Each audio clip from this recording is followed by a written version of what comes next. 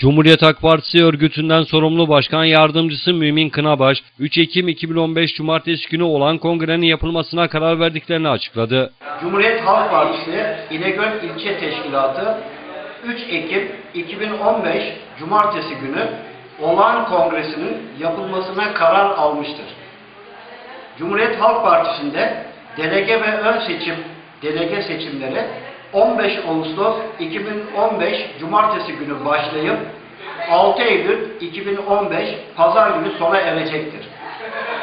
Delege seçimlerinin yapılacağı tarihler ilçe lokalimizde askıya asılmış olup mahalle delege seçim tarihleri üyelerimize mesaj yoluyla bildirilecektir.